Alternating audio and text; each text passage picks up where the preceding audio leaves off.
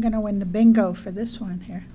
Uh, I'd like to thank the Lions, Goffstown Lions, for doing this every year for the candidates and for the community. I'd like to uh, thank the library and the staff for uh, preparing the booklet, putting it on the website, and of course the, the cute guys at GTV and the one young lady. Thank you too for uh, helping us here today. Uh, and of course, this is quite a turnout. I've been to a few of these over the year, years, and uh, I don't think we've we've ever had this much people. so, thank you all for coming.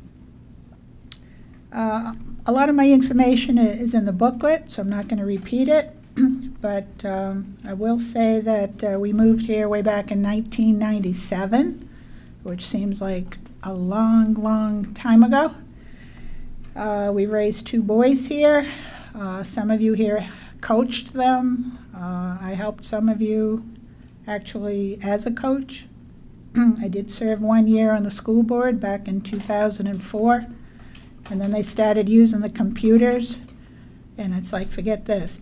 it's like, because I like paper. And uh, I didn't want to do the computer bit. So Scott Gross, it was all his fault.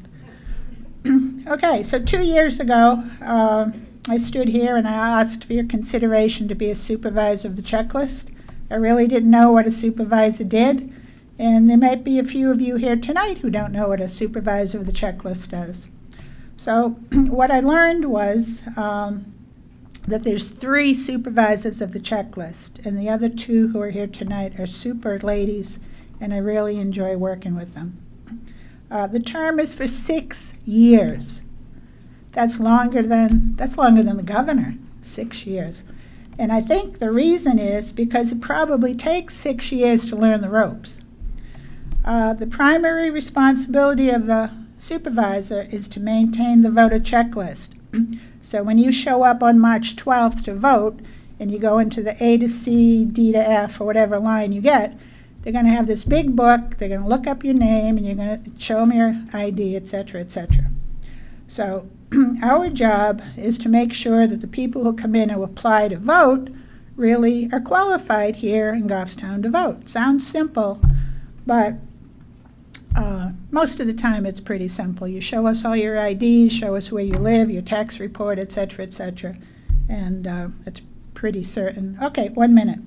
Uh, so anyway, um, we have to learn how to do the database, and then we help out at the elections. And I wanted to give a shout out to Kathy Ball because, oh my God, she should be, she should get the biggest award here because she can really run a good show, good election.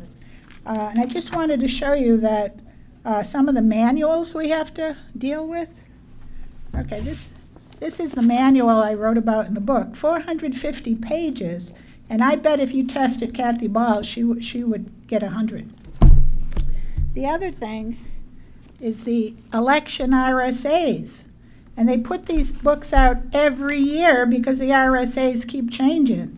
And sometimes, if you, if you look, you'll find an inconsistency from one uh, definition to another RSA. So, anyway, um, that's what I've learned. Uh, also, uh, I have uh, been working on a checklist uh, for the people who help us at the supervisors, and I want to work on some more checklists for future supervisors and ballot clerks.